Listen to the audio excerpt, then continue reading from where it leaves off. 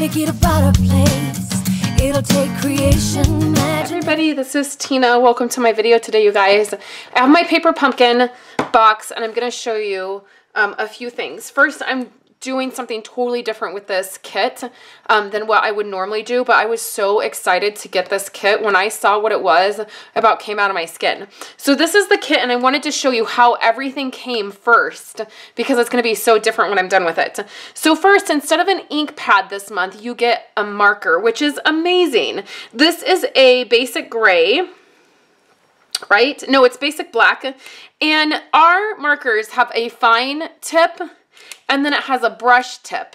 And our brush tips, you can totally use to do stamping. You can put ink onto your stamp and then stamp it down just like you would an ink pad, but you can get you can do multiple colors with ink uh, with these markers, which is what I like to do a lot of the time.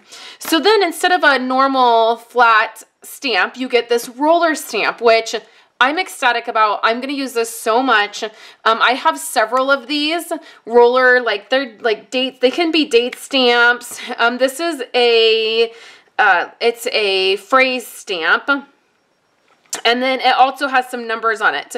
So that's going to be fun to use, but I already know so many different uses I'm going to get out of this. I know it's going to be one of my favorite roller stamps. So then it comes with, the kit is like, it's not like, it is a scrapbooking or memory keeping type kit. So you're going to get some washi tape and then you get two of these rings to put together your booklet, okay?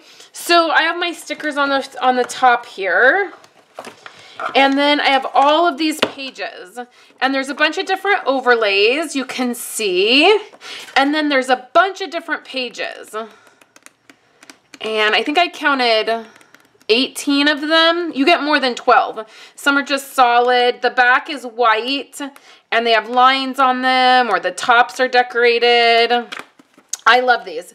Then there's holes in them so you can put the rings in there and then you get this book that is supposed to be this review, this year in a review kind of book. I love this idea, you guys. Okay, so let me share with you what I'm going to be doing. I'm going to be doing a year in in review, but I'm going to be doing it in a 4x4 album. So I'm going to be cutting this up into 4x4 squares.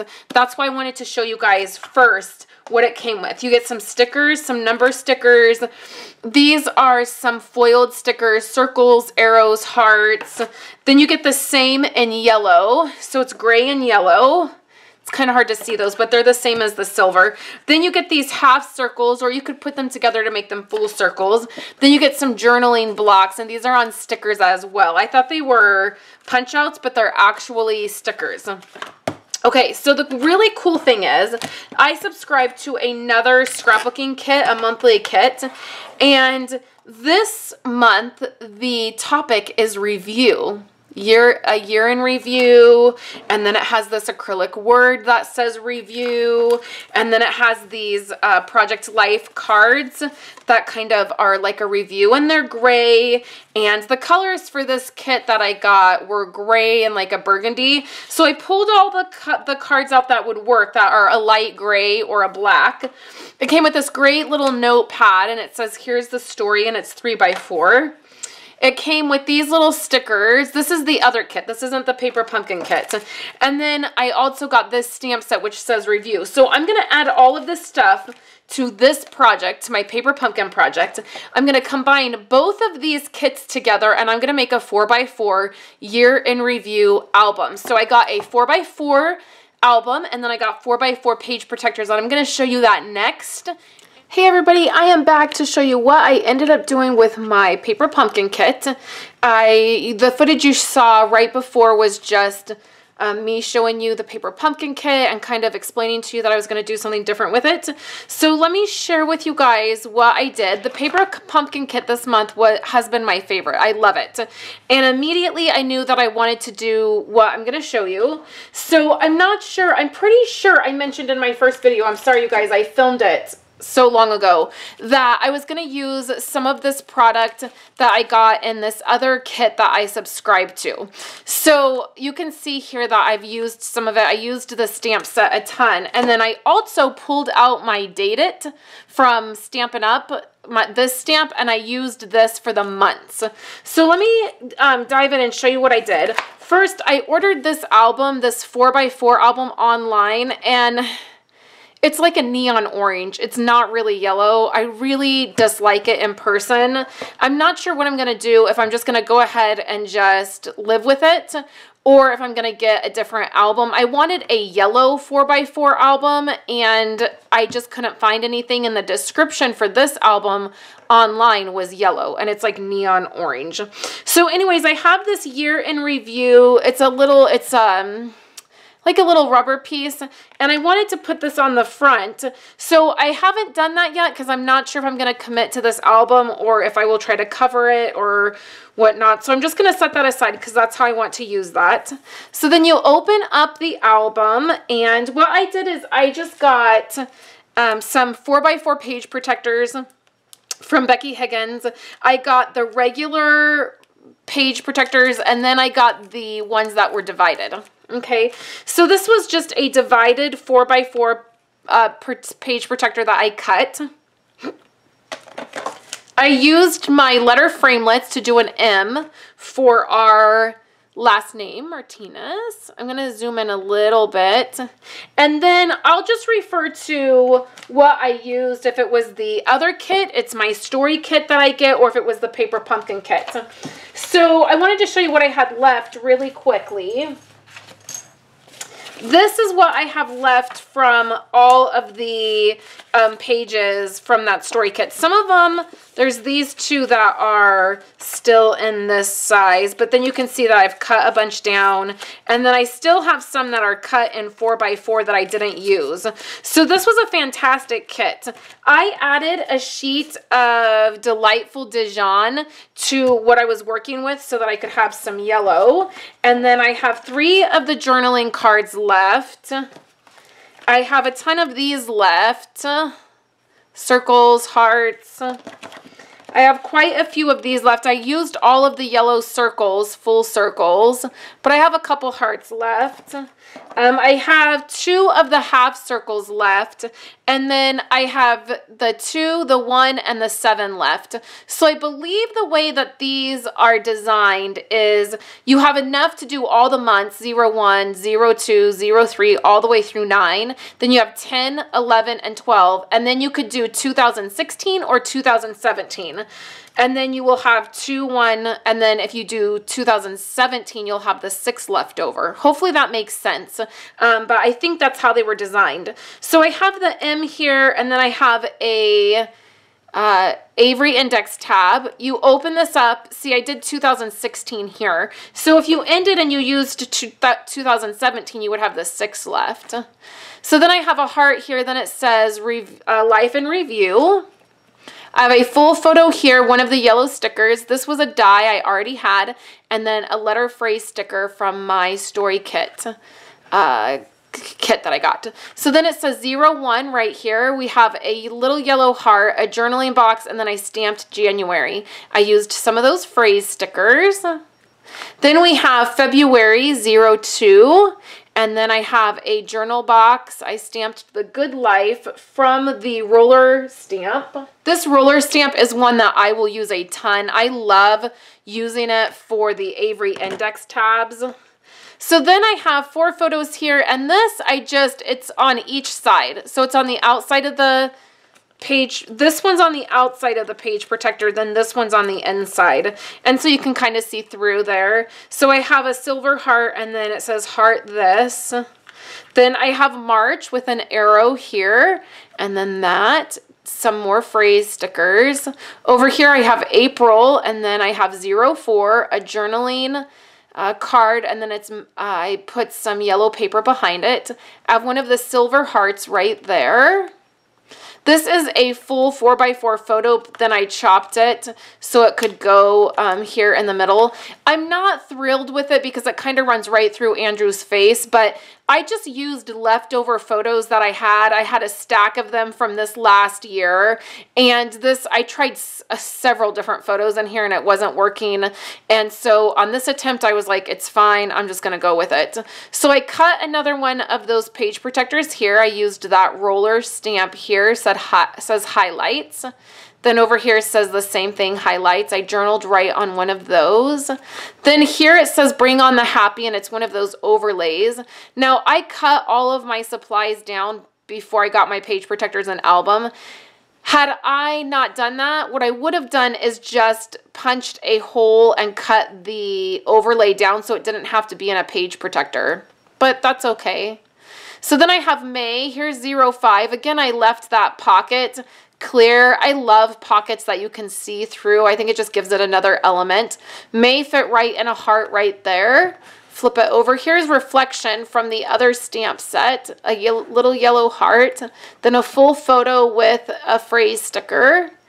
Over here is 06 for June. This is a Project Life card I cut down. That was from my other kit.